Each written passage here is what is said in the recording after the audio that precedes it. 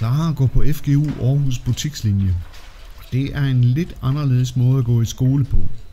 Vi har nemlig rykket undervisningslokalet ud i Føtex City Vest, hvor eleverne får undervisning og instruktion i at arbejde i en butik.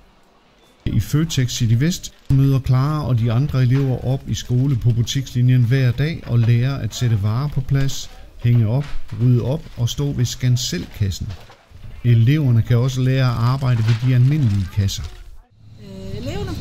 Øh, eleverne de lærer at arbejde i butik. De øh, lærer at, ja, hvordan man skal følge op, hvordan, hvad det, de lærer en del fagsprog, om at trimme og ordne spaces og hvad det ellers hedder alt sammen. Øh, så de lærer at begå sig i en butik, øh, hvordan det er.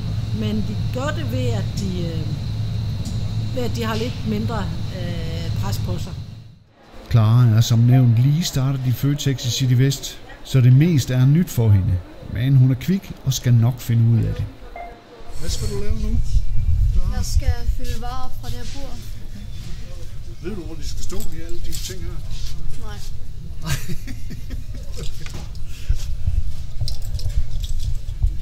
Hvordan finder du ud af det?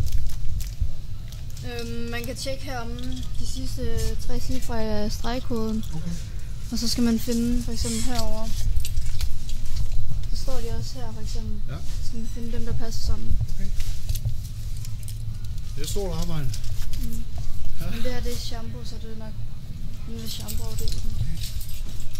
Ja, der er nok at lære af nye ting. Heldigvis er Føtex rigtig god til at hjælpe eleverne og fortælle dem, hvad de skal.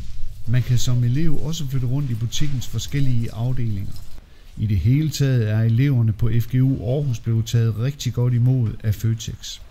De er super gode til at forklare dem, hvad de skal, og hvis det er, det er noget, der driller, og de ikke rigtig øh, kan finde ud af det, ja, men så, så skifter man måske arbejdsområde eller et eller andet. Så det vil tage godt hensyn til dem, og de, bliver- de er rigtig gode til at, at tage sig af dem. Hvordan er det at have FGU-elever i Føtex her i City Vest? Jamen, jeg synes, det er en, øh, en super fed opgave at have med de her unge mennesker at gøre. Altså, vi er jo selvfølgelig først lige startet op med det her for ikke særlig lang tid siden, så vi har ikke så mange elever endnu.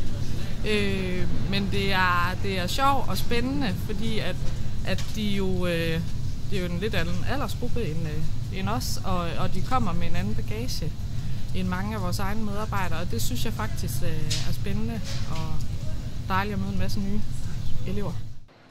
Og det er ikke bare tomme ord fra personalechefen. I forvejen har Føtex i City Vest nemlig Anna fra FGU Aarhus gående som EGU-elev på en toårig kontrakt. Anna holder lige nu øje med, at madvarerne ikke overskrider sidste salgsdag. Men man lærer også mange andre ting ud over det rent faglige ved at gå i skole i en butik. Jamen, de lærer jo at, øh, at tage ansvar. De lærer, hvordan det er at stoppe og møde til tiden og, og, og komme i gang herinde. Øh, og øh, de lærer at se, hvordan de andre agerer. Hvordan man agerer på en arbejdsplads, hvor accepteret man er. Får de lov at lave det samme som jeres øh, andre ansatte? Ja, altså på sigt får de lov til at starte med. Altså vi har selvfølgelig en onboardingsplan, som, øh, som vi skal igennem til at, til at starte med. Men øh, på sigt der gør de. Vi har blandt andet Mona lige nu oppe i kassen. Og hun arbejder på helt samme vilkår som de andre oppe i Selvskat. Som alle andre elever på FGU Aarhus modtager eleverne på butikslinjen også undervisning i dansk, matematik og PASE, som står for privatøkonomi, arbejdspladslærer, samarbejdslærer og erhvervslærer. Der er også mulighed for at gå på et almenhold og blive undervist i dansk og matematik på GD og E-niveau. Efterfølgende kan man tage eksamen svarende til niveauet i 9. og 10. klasse. Denne undervisning modtager eleverne i det nye Sports- og Kulturcampus på Karen Bleksens Boulevard i Gellerup, hvor FGU Aarhus Vest holder til med raplinje, artistlinje og danselinje. Ikke at forglemme madlinjen, hvor du kan lære at lave den lækreste mad til hele FGU Aarhus Vest. Har du lært noget af at være på butikslinjen? Ja, altså det jeg har fundet ud af, det er, at jeg godt kan lide at arbejde i butik, fordi at øh, hvis man som mig ikke kan sidde stille og bedre kan lide at bevæge sig, så får man bevæget sig en hel masse.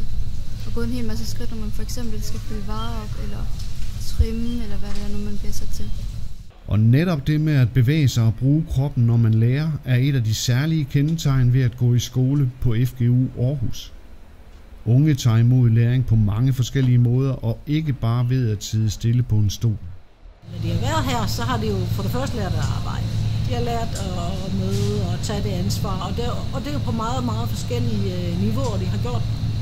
Øh, Nogle er super klare til at gå videre, om man skal starte på business college eller blive elev i en butik, øh, eller starte på et.